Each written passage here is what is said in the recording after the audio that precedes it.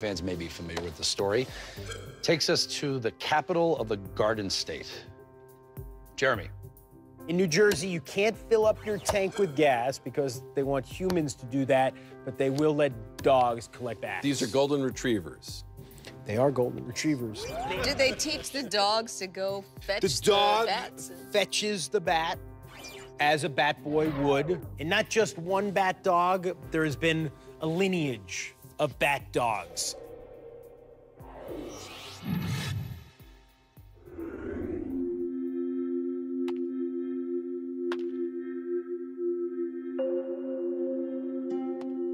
Call me a hopeless romantic, but there's nothing better than opening day. Probably because it reminds me of Dad. Like many of you, I'm sure, it was my dad who taught me to love the game. For some, it's the sight of the ballpark. For others, it's the crack of a bat. But for me, it's really the smells that bring me back the fresh cut grass, popcorn at the concession stand, the leather cover of a new baseball that you just want to chew on forever and ever. Oh, man. or at least just roll around on, because that's kind of fun, too. My name is Derby. Around here, they call me the Bat Dog. See these big sticks? Those are bats. When one falls on the ground, it's my job to pick it up. And for whatever reason, people love it. How did I get such a sweet gig? Uh, it's pretty simple, really. It's the family business. Chase, that Golden Thunder. Once again, Chase presented by Lambert Denny. Chase, the official fresh and clean brand. This is my dad, Chase. Way back in 2002, before I was even born. He practically invented the bat fetching industry. The goal was to entertain the fans, to, to have something here that the fans would absolutely love. Guy behind me, that's Eric. He's the one that hired my dad. Most folks looked at my dad and saw just another waggly tail. Eric saw potential. It was an incredible, incredible hit. The fans went crazy over it. Special back to what this happening is Chase, that Golden Thunder. We, we couldn't believe the response. We have uncovered, or rather unleashed, a major talent from the minor leagues. This is Chase, an official member of the Trenton. A dog who collects baseball bats from minor leaguers. Who puts a whole lot of bite into the lineup. We've even had a Japanese film crew come over and do a story on him. It turns out that he was a huge hit in Japan.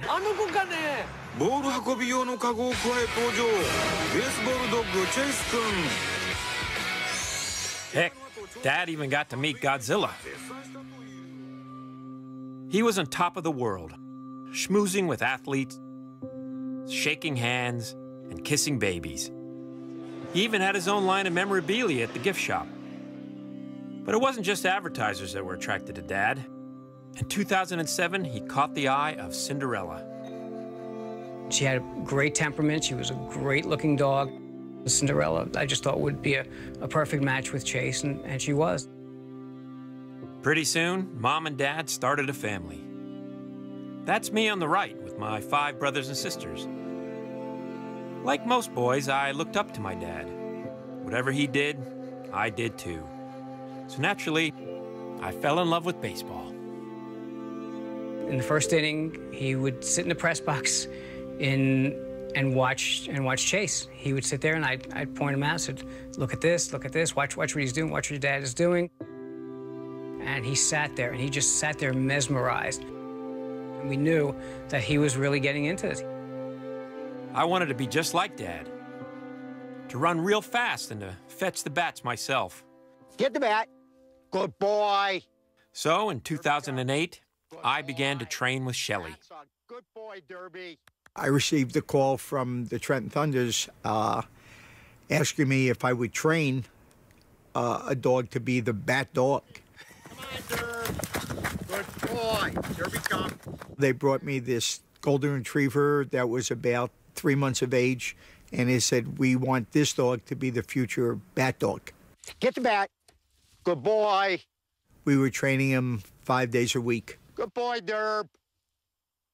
So it's a combination of training, exercise, and letting the dog go out and just enjoying himself. The next year, in 2009, I got the call.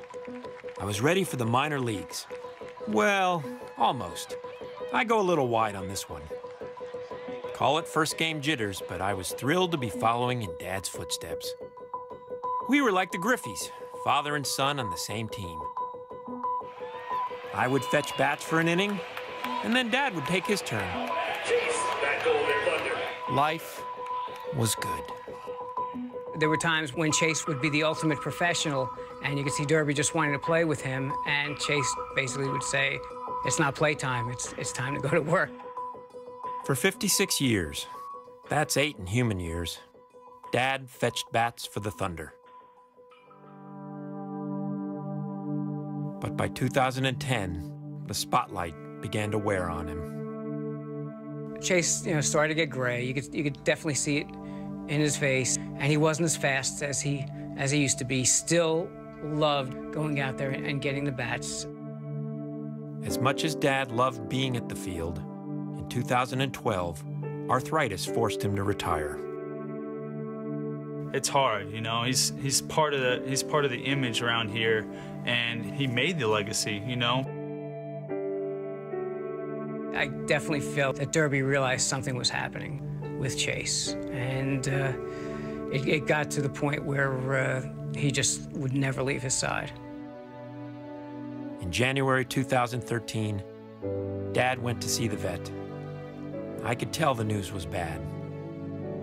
Dad began taking a lot of medicine that, that made him really tired. He didn't want to play anymore. If it's ever touched your life, you know. Cancer sucks. Tributes poured in, and he even got invited to Yankee Stadium. He finally made it to the big leagues. On July 5th, 2013, the guy I looked up to more than anyone else made his last appearance for the Trenton Thunder. We brought him out. We had to basically physically carry him out. You could just see how how sad he looked. It was just heartbreaking for everybody, and we wanted to make sure that he got honored. I wanted him to hear the applause that one last time.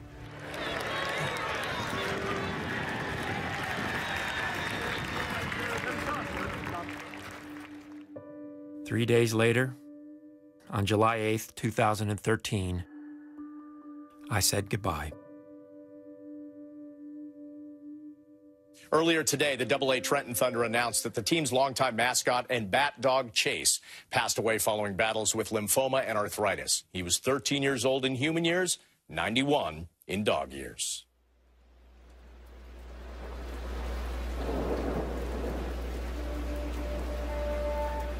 Dad was the ultimate professional. He would have wanted the show to go on. So the next day, I was back at the ballpark. But I couldn't help feeling alone. Derby just totally changed personality wise. He became so sad. He missed his father.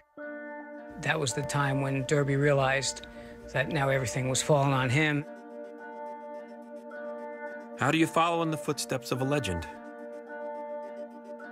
How do you follow your own hero? Sat down with their vet, and I said, I'm, I'm really worried about Derby. He's, he seems so down. He's missing Chase so much. What will cheer him up? And they said, having a companion. That's exactly what I needed. A few months after Dad passed, I met a girl, Reba. I mean, look at her. That December, we welcomed two puppies a girl named Mickey and a boy, Rookie. I'll never forget the first day they came home. Derby, who is that? Sophie, you're the baby. Just like my father introduced me to baseball, I did the same with my pups. Rookie was a natural. It's the son following the father's tradition. And now you see Rookie also following in the same tradition. It's as American as apple pie. Get the bat. With Shelly's help, I started teaching Rookie to fetch bats. Good boy, Rook. Just like his old man. And just like his granddad. Good boy, Rook. Come on, Rookie. Come on. I think it kind of reminds you of those memories you have when you were growing up, learning something from your dad when you were just a kid, and in his case, a puppy. I taught Rookie everything I know. Here's a pro tip. Always grab the bat by the fat end. The skinny end is covered with this sticky goo that just gets stuck in your teeth, and it is gross. I also introduced Rookie to my guy. Rookie, want a treat? Want a treat? You can always score some treats off the trainer. I don't got no more. It was all in preparation for opening day. April 16th, 2015.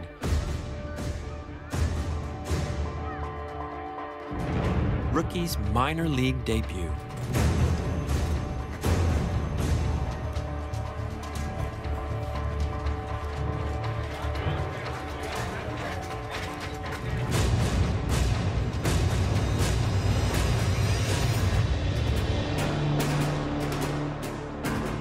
I'm a little nervous for him because you know, I know he's put in a lot of hard work for his training, so we're rooting for him.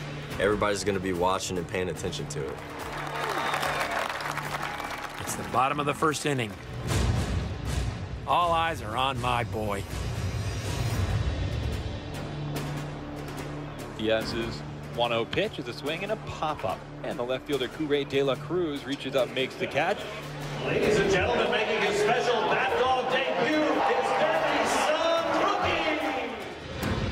And like he shot out of a cannon, Rookie goes right past the bat. Oh boy, he's excited, huh? Rook!